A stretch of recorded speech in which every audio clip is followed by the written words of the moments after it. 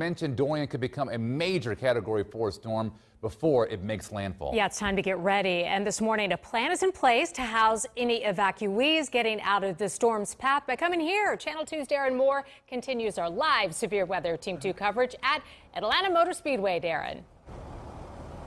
And yes, the Speedway is an option for families looking to find some shelter or safe haven away from the hurricane.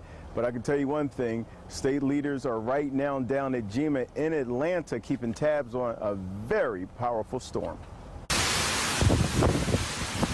Hurricane Dorian is heading to Florida, bringing a lot of rain and damaging winds. And parts of South Georgia could feel its strength when it hits the mainland, and state leaders are ready. We're staging our resources so that we have the flexibility to go where they're needed. Georgia State Patrol have troopers on standby for evacuees traveling north on the interstates from Florida and South Georgia. Got 150 troopers that are assigned, 125 of them are designated if we have to do contraflow on I-16.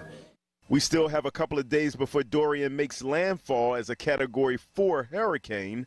Governor oh, Brian Kemp isn't ready to tell people they need to cancel their Labor Day plans, but he does have a warning. It's definitely, I think, going to be a nasty weekend on the coast, but if you're still going, you need to be watch for common sense things like rip currents and other things, uh, bigger waves than normal.